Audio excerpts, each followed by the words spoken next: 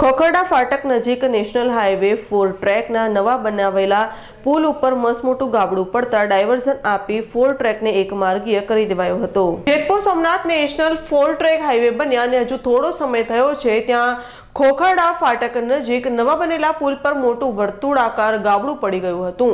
આ ગાબડું મોટું થતું હોવાથી તંત્ર દ્વારા વાહન વ્યવહારને ડાયવર્ઝન આપી દેવાયું હતું અને ફોર ટ્રેકને એક માર્ગીય કરી દેવાયો હતો. આ ઘટનાના પગલે રાહદારી એવા ખેડૂત પુત્ર, હિતરક્ષક સમિતિ કેશોદના કન્વીનર ધીરુભાઈ જાટિયા તેમજ કોંગ્રેસ યુવા કાર્યકર અવિનાશ પરમારે નેશનલ હાઈવે ઓથોરિટીના જોરદાર વિરોધ કર્યો હતો. ઉપરાંત નેશનલ હાઈવે પર અનેક ક્ષતિઓ રાખેલી હોય તેમ છતાં ટોલ ટેક્સ ઉઘરાવવામાં આવી રહ્યો છે. જેની રાજકીય લોકોને કરેલી રજૂઆત એડે ગઈ હોય તેવો માહોલ જોવા મળી રહ્યો છે.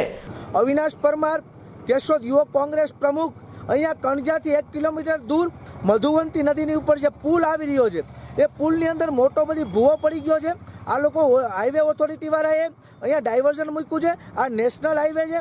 નેશનલ હાઈવે હોવા છતાં આ પુલને એટલો બધી સમય પણ નથી થયો. છતાં પણ પુલ પણ જર્જરિત છે અને આ પુલની અંદર અનેક જગ્યાએ ઘણી બધી જગ્યાએ આ રોડની અંદર ઘણી બધી જગ્યાએ ભૂવાઓ છે. અહીંયા આગળ વયા જાવ તો માણેકવાડા પણ છે, એની આગળ સોંદડા પણ છે. પણ છતાં પણ ક્યાંક ને ક્યાંક આ સરકાર આ ખાડા કાન કરી અને ટોલ નાકાવાળા, ટોલ પ્લાઝાવાળા ટોલ ટેક્સ ઉગાવી રહ્યા છે.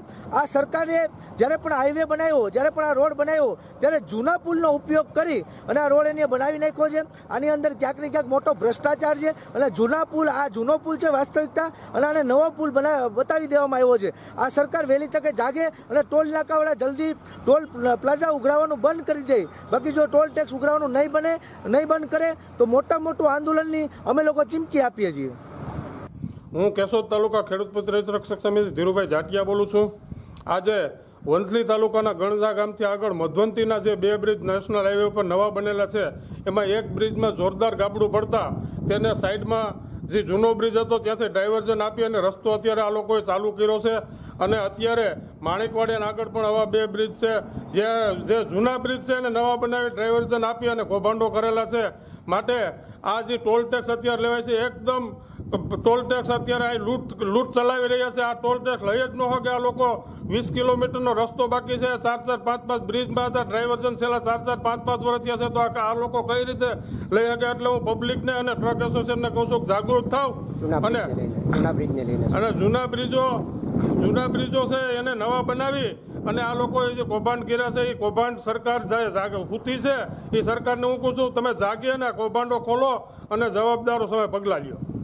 જગદીશ યાદવનો રિપોર્ટ જુનાગઢ.